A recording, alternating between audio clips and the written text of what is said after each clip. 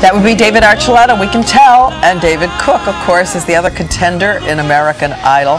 And so we ask Andrea Canning to tell us about the contest there and the contest everywhere else. America has decided that the two people going head to head in our finale next week are Move over, Hillary and Barack. It's now David versus David in the most politically charged race in the land. American Idol is a lot like a presidential primary election. Call it couch potato democracy. You've got super delegates, David Cook wins the night.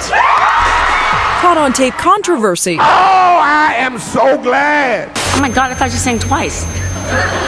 Crisis management is key in both American Idol, apparently, and in a campaign. and what would an election be without charismatic candidates?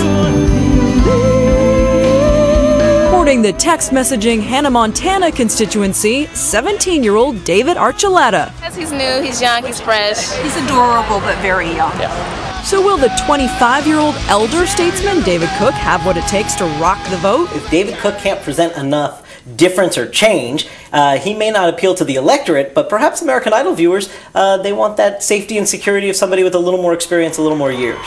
Cook captured the country's heart when he shed a tear. He's in tears right now. Tears as well. Sound familiar? I just don't want to see us fall backwards. That's not the only Clinton connection in this idol election. This whole thing is the biggest fairy tale I've ever seen.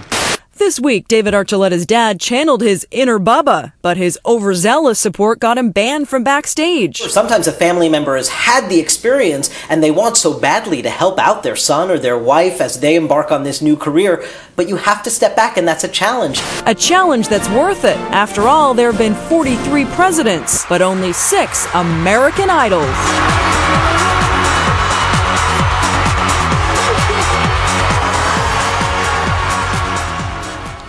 Now we just have to see if Saisha endorses a candidate. That's And how many people vote? uh, 56 million votes were cast this week. Incredible.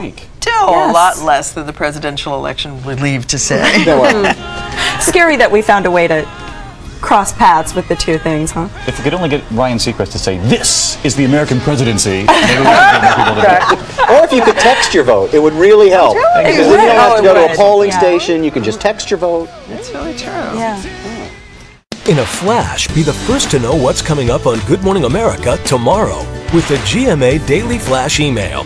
All the great insider details you want to know from GMA. Go to abcnews.com, click the GMA page, and sign up for the Daily Flash. And you can even enter to win the weekly GMA Flash gift bag giveaway. Sign up now.